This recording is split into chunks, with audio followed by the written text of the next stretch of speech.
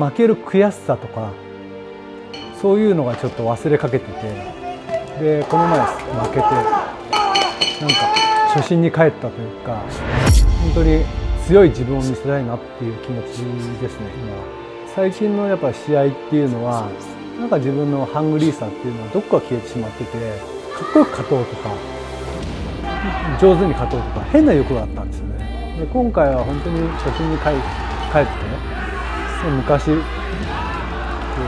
もっと目立ちたい。もっとみんなを納得させたいって言ってハングリーになった時の気持ち。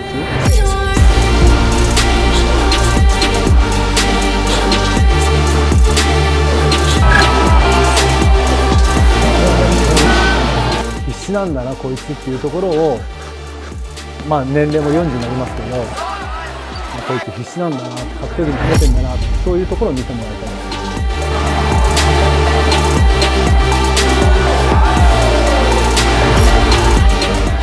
失った誇りを取り戻すとにかく勝って強い自分に戻りたいそこだけです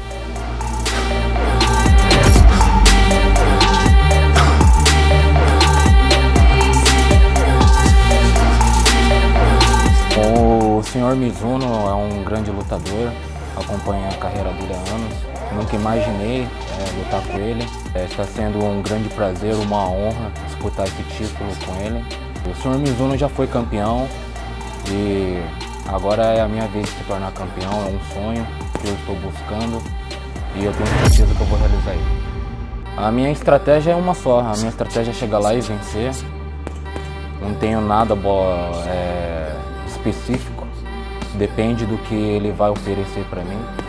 A arte marcial me ensinou que a luta é a forma que você se expressa mais 100% dentro da luta. Né?